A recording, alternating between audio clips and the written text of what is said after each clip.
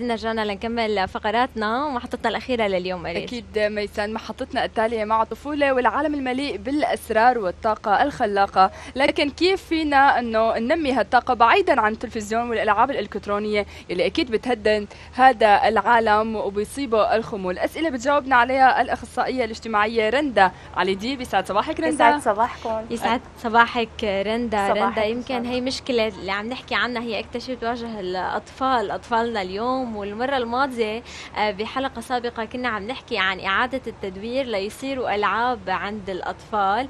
خلينا شوي نستذكر أهم النقاط بهذا الموضوع.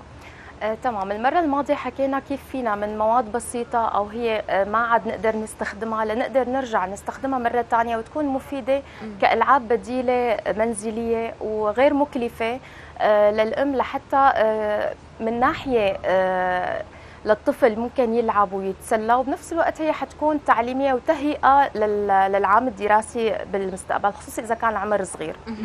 آه، أغلب هلا الملاحظات اللي عم تكون من الأهل أو الشكاوي إنه كثير شوب آه، ما فيني ما في نشاطات خارجية اخذه عليها أو عم بيكون كثير مكلف آه، عم بيقعد بالبيت طول وقته مقضيه على على التي في أو على التاب أو على الموبايل. ما عم بقدر اسحبه منه. السبب لأنه ما عم تقدر تحط له شيء بديل.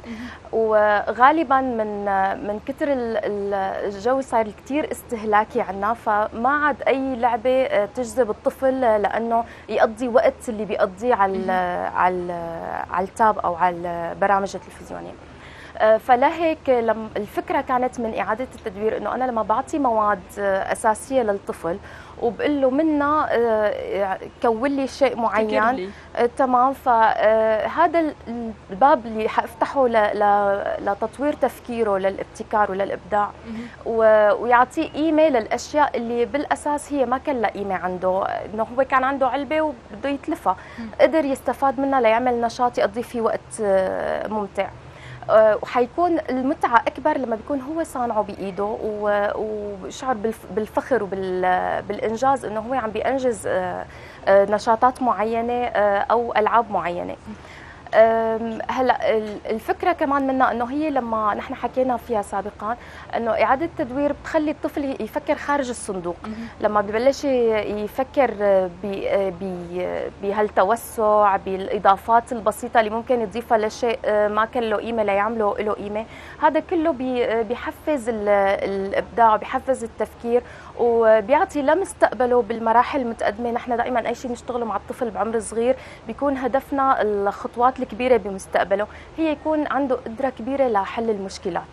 كمان مثل ما ذكرنا يمكن التلفزيون والألعاب على الموبايل كثير بتشكل خطر وبتهدد عالم الطفولة. اليوم كيف الأهل بالفعل بيقدروا يعني يبعدوا طفلهم عن هالوسائل؟ أيضا ذكرتينا بإعادة التدوير لكن كيف نقدر يعني نقنع طفلنا إنه يقعد يركن يمكن ونحط قدامه هالأدوات ويبتكر. آه، تمام. هلأ الفكرة من من البرامج أو من ال- الكرتونز أو من ال- الألعاب الإلكترونية هي عم تكون مشتتة للطفل عم بتخفف له انتباهه عم بت عم تزيد حركته عم تخليه شخص أكثر اندفاعية أكثر عدوانية. آه هاد كله آه راح يخليه الاصعب من هيك إنه يخليه ياخذ متعة بدون جهد. فهذا بيخلي ال ال الدماغ وال- والشخص إنه خلص أنا مرتاح ومتسلي بدون ما أبذل أي مجهود. فهذا رح بيشجعه لهذا الخط اللي خليني أقوله الخط السيء. للحياة.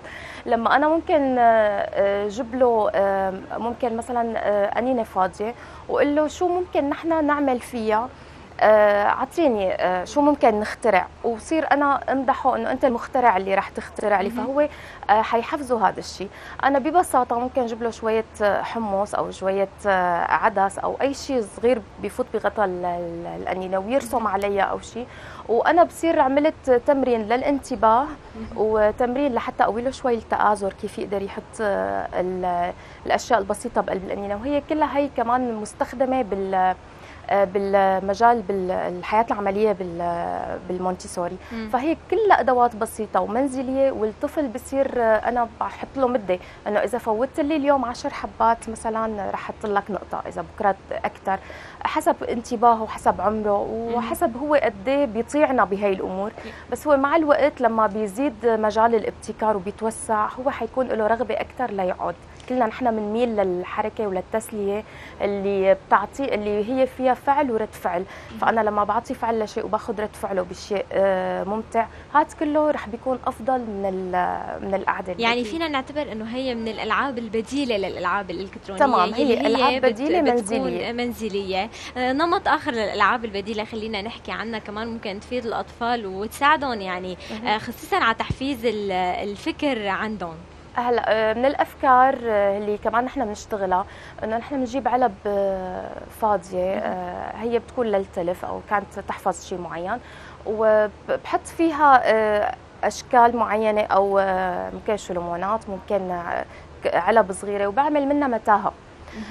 وممكن من أي ورقة أنا ما عاد بدي إياها أعملها بطريقة كأنها طابة صغيرة وخليه يمسكها ليقدر يتوازن ويمرقها من جهة لجهة. كمان هي كثير مفيدة وكثير آه، بتشتغل على على المهارات كثير آه، على التركيز بتزيده على كيف عم بيحرك إيده وعينه آه، بتركيز وانتباه معين. وفيني أنا قد ما فيني صعبها قد ما فيني سهلها وقد ما فيني صعبها هذا حسب العمر وحسب لما هو حيشتغلها ممكن يقضي يومين ثلاثة هو وعم بيزينها هو عم يركب المتاهة هو عم بيفكر وين بده يحطها لتمشي. هذا كله بينمي مهارات التفكير وحل المشكلات بالمستقبل نحن عم نتابع مع بعض آه، بعض آه، الأفكار يمكن للأنشطة البديلة للطفل لكن قديش بالفعل هالإشياء هي بتساهم ببناء شخصية الطفل؟ أول شيء بتشتغل على الاستقلالية. آه، بتشتغل على آه، ما يكون شخص متردد بالمستقبل إنه لما بيكون عنده مشكلة وقدران يحلها فهو ما عنده حل واحد. صار عنده عدة حلول بانفتاح أكبر لإنه يقدر يكون أكثر مرونة.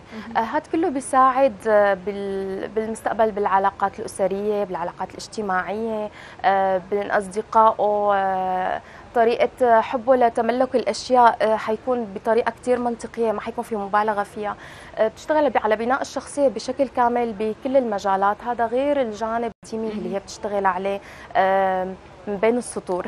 يعني كثير من الأمهات بيسألوا إنه أنا آه، بحس إنه بيجي بدي أعمل هالتفاصيل هي مع ابني أو مع بنتي آه، بس ما بيكون في تجاوب لأنه هن ما عندهم حب لهي الأعمال اليدوية. فهون كيف الأم لازم تتصرف لحتى تجذب ابنها لهذا الجانب من الأنشطة البديلة إذا بدنا نقول عن اللعب بشكل عام عن الألعاب الإلكترونية؟ فهلا في فكرة لما الأهل بيشاركوا طفلهم وبيعملوا مثل روح المنافسة بس خصوصي إذا كان طفل وحيد فهو إنه ما في حدا ينافسه بالبيت أو ما عنده مثلا قرايبين أو جيران. فهي تكون الأم هي الشخص المنافس لطفلها. هلا آه، من بين الصور اللي حطيناها في شيء آه، نشاطات داخلية وفي نشاطات خارجية. النشاطات الخارجية نحن كمان حكينا بالمرة الماضية عن الألعاب الموسخة ترجمتها كيف آه، آه، يقدر يلعب بكل أريحية وبكل آه، ما يأكل أي هم لأنه يوسخ شيء. وبنفس الوقت هي خروج عن المألوف. فهذا الشيء كثير حيكون محفز له لأنه يفوت بمنافسة مع مع أمه. وهي طبعا رح تتنازل شوي لحتى تخليه يفوز أول مرتين. وبعدين حتزرع هذه روح المنافسة معه. بالعكس حيكون كثير بتكون هي مالها رغبة. فلما هي بكلها رغبة بهذا الموضوع رح يكون له هو رغبة كمان. فيه كمان يعني قديش فينا نوسع خياله للطفل بالابتكار. يمكن هو كمان آه، نحن عم نحاول نبعده شوي عن الألعاب الموبايل والألعاب الإلكترونية لكن ممكن كمان نفتح له على فيديو آه، على الإنترنت يتعلم منه ويطبقه هو لحاله ويحاول قديش ممكن يقدر يبتكر وننمي له المخيلة عنده. آه، هلا دائما أي شيء له وجهين سلبي وإيجابي. وخصوصي إنه نحن بهذا العصر ما فينا آه، نلغي تماما الالكترونيات هلأ أنا فيني أكيد حضره آه، تحت إشرافي فيديوهات معينة وتكون آمنة. كثير ضروري تكون آمنة لأنه أحيانا هي ما بيكون قدران يختار العمر المناسب للاختراع أو النشاط اللي بده يعمله. فممكن يكون يشكل خطورة له لأنه ما حيكون دارس ردود الفعل بشكل عام. فلما بيكون هذا مختار بطريقة مناسبة وتحت إشراف راشدين آه ليه لا بالعكس آه بيفتح له مجالات. أول شيء بيكون آه كلياتنا بنتعلم بالتقليد وبعدين بقى بنفتح أبواب التفكير والإبداع والمخيلة. يعني عم نحكي عن هي التفاصيل كلها اللي بنقول إنه هي تقع على عاتق الأم. لكن أيضا قديش مهم إنه الأب يشارك ابنه آه، بتفاصيل هي الألعاب لحتى خصيصا عند إذا بدنا نقول عند الولد الصبي آه، مشاركة الأب قديش كمان بتساعده؟ آه، للأب دور كثير فعال للصبي وللبنت خصوصي ببناء شخصية البنت بتعزيزها لثقتها بنفسها وكيف هي تقدر تشوف حالها بسلم هالحياة هي بأي درجة. هو الشخص الأساسي والدور الأكبر له رغم أنه نحن دائما بنذكر الأم بحكم هي بتقضي وقت أكبر مع مع طفلها. هلأ ال ال في مرحلة من العمر ببلش ال الصبي يتماهى بأبوه يعني يقلده يكون مثله يكون كوبي تماما عنه. فبهي الفترة كتير منيح يكون في نشاطات مشتركة ذكورية. أه ولو كانت آه، مثلا آه، أنا دائما بحب أذكر هذا اللي هلأ كثير صار قليل إنه ما عليه ينزل هو وياه مثلا آه، يغسلوا السيارة. أه هو وياه عنده مهمة معينة يجيبوا أه خضرة للبيت للأم. فلما بيتحمل هاي المسؤولية كصبي فهو هذا كتير رح نشتغل على الشخصية. وبنفس الوقت لما بيشاركوا أكثر بالنشاطات خصوصي الوقت حكينا بالنشاطات الخارجية آه كمان هاد آه، في هلا أكثر شيء اللي منتشر هلا آه فكرة الدارات الكهربائية البسيطة. فهو أكيد الأب هو اللي رح بيساعد ابنه بهذا الشيء وبيطلع يمكن كمان من جو الموبايل ومن جو ال tab ومن جو البيت حتى من جو إنه أحيانا بيصير دلوع أمه يعني إيه، الولد إنه دائما بيكون بعاد عن بينتقل من دور اللي هو متلقي لكل الخدمات لهو شخص آه، هو عليه مهام معينة بسيطة مناسبة له ما تضغطه أهم شيء إنه ما تضغطه يأديها لمجموعة خصوصي لبيته. كمان آه، مثل ما ذكرنا دور الأم كثير كبير. كمان كيف تقدر تعزز الثقة وتولد الإبداع عند اولادها أهم شيء آه، في نقطتين أساسيات. أول شيء لما أنا بمدحه قدام الغريب. بمدحه بالشيء اللي هو بيقدر يعمله. ما أمدحه بالشيء هو تمام إنه شيء ما بيعمله وأنا بروح بمدحه فيه فانه خلص أنا فيني قد ما في هيك أخذ اللي بدي ولما توجه له نقد توجه له عن طريق حوار. تقول له انت شو عملت شو رأيك فيه؟ تخلي تاخذ اللوم منه مو لوم خليه يكون تقييم ذاتي له. هذا رح يخليه أكثر يراقب خطواته بال... لما بيكون بوسط اجتماعي. هلأ أغلب المشاكل إنه الطفل بيكون عاقل لما بيكون مع أمه بمجموعة بتطلع. على قولتهم كل الظرافة. إنه بيطلع كل الهضامة تبعه وال... والمواقف اللي بتستفز الأم. فهي حتروح بعد أسبوع مزعوجة منه بالبيت. يعني عن جد معلومات كثير مهمة بتهم بتهم أكيد كل أم هلأ عم تعاني شوي آه، من آه، موضوع الولادة وقديش ممكن تقدر خصوصي بهالصيفية والعطلة الصيف طبعا. كيف تقدر تحاول تجذب أولادها لهيك أشياء مفيدة؟ نحن كثير بنشكرك على هالمعلومات المهمة اللي أعطيتينا إياها. شكرا لكم. حابة بس ضيف شغلة إنه نحن عاملين بآخر هذا الشهر مثل سوق خيري آه، مشارك بالأمهات والأطفال بمشروع إعادة التدوير. وحيروح ريعه لجمعية جديدة آه، عم فايته بمجال الأعمال الخيرية. فهي كمان فرصة لنحن نشتغل على كل اللي حكيناه أثناء حديثنا اليوم لحتى ندعم العلاقة بين الأم والطفل والروضه أو المدرسة. وبنفس الوقت يكون يتعلم الطفل إنه أي شيء هو بياخده مو ضروري له مقابل هو بكفي تقديره لذاته وبكفي هو كيف يكافئ نفسه بإنجاز قدمه لغيره. يعني إحنا بنتمنى لكم كل التوفيق ونتمنى لك كل التوفيق وإن شاء الله هالمعلومات بتكون فادت كل الأشخاص. نتشكر وجودك معنا لليوم. رندا. شكرا لكم.